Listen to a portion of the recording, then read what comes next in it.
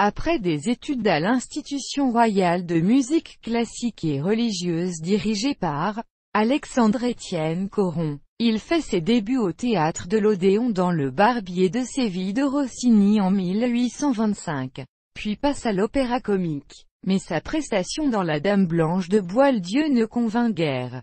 Il part alors perfectionner sa technique en Italie, où il accède à la notoriété, notamment dans des reprises d'Othello. Le barbier est Guillaume Tell de Rossini. Précédé d'une réputation flatteuse, il rentre en France en 1837 et est engagé à l'Opéra de Paris comme premier ténor. Emploi tenu par Adolphe Nourri qui préfère démissionner.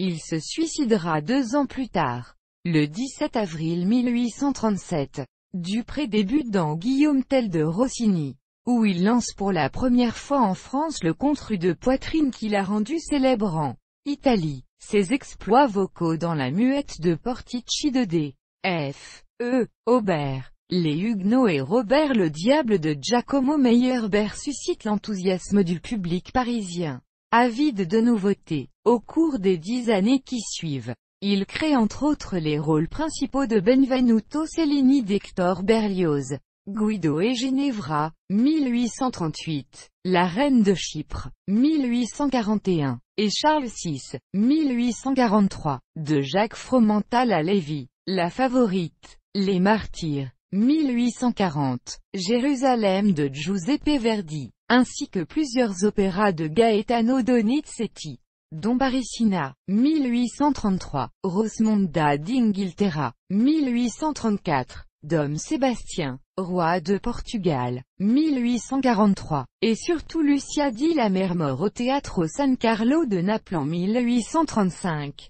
Il fait également représenter, sans succès, plusieurs opéras, La cabane du pêcheur en 1826 à Versailles, La lettre au bon Dieu en 1953 à l'Opéra Comique, Samson, 1857, Juanita en 1862 au Théâtre Lyrique, Jeanne d'Arc en 1865 au Théâtre-Parisien, et rédige des ouvrages théoriques. L'art du chant, 1845. En 1849, la détérioration de sa voix l'incite à se retirer de la scène. Il quitte l'année suivante le Conservatoire de Paris, où il avait été nommé professeur en 1842, pour fonder sa propre école de chant, dotée d'une salle de concert de 300 places rue Turgot dans le 9e, où il a comme élève sa fille Caroline Dupré ainsi que Marie Battu, Marie Marimont et Caroline Miolan-Carvalho, qui feront carrière comme cantatrices.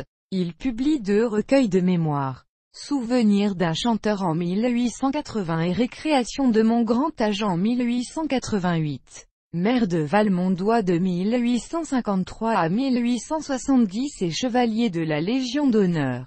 Il meurt en 1896, à près de 90 ans, en son domicile parisien, rue de la Tour, dans le quartier de Passy, 16e. Il est inhumé au cimetière de Montmartre. Sur la stèle, on peut lire cette épitaphe.